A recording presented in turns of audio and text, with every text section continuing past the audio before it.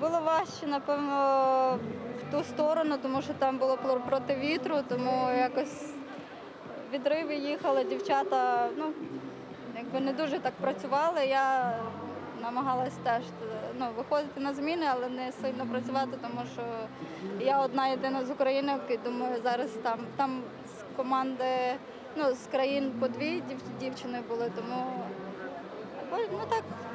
Якось їхалось, в принципі, нормально. Ну, я б не сказала, що там погано себе почувала. Тому ну, наді... не надіялась на те, що я думала, що група нас дожене і вже приїде повністю ці- ціліком. Ну, ми е, перших е, два кола ми ну, підсідали, хто там від, від'їжджав відрив. Ну, так як я від'їхала, ну так стало, що я там підсіла і поїхала. Я не думала, що нас група відпустить. І так з кожним кілометром я дивилась, е, час відриву все більше і більше ставав, тому вже так і доїхала до фінішу, і там вже фінішнула як могла. Ми вже вдруге їздимо ці змагання і нам подобається організація. Дуже дякую, звичайно, що такі велоперегони проводять по жінкам, тим більше у нас на Україні, в себе вдома. Хотілося б, звичайно, побільше, щоб таких стартів було і приїжджали більше країн, команд.